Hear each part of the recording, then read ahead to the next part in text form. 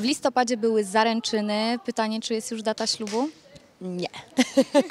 Ale nie myślicie o tym w ogóle?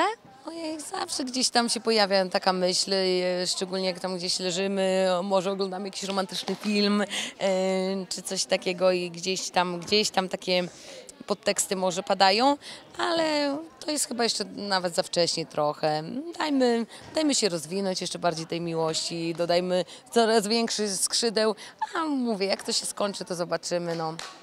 Nikt nie jest w stanie tego powiedzieć. Mówię, nic na siłę. My nie chcemy robić nic, bo, bo ktoś pyta i tak dalej, napiera, wymaga. Nie, my chcemy to zrobić po swojemu, tak jak o zaręczynach nikt nie wiedział i nikomu, no tylko tacy najbliżsi, bardzo, bardzo najbliżsi wiedzieli o tym. Bo myślę, że to jest takie też w miarę intymne i najpierw się trzeba samemu tym nacieszyć, a, a może już potem przy, przyszedł taki moment, gdzie, gdzie można było powiedzieć to głośno.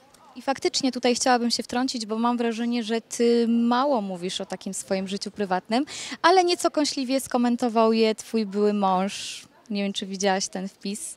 A wiesz co, ja. y, kto, ktoś mi na pewno coś y, takiego wysłał, ale jakby ten temat, y, mówię, już chcę unikać tego tematu, bo naprawdę myślę, że jest wiele przyjemniejszych, fajniejszych y, rzeczy do rozmów niż, niż on.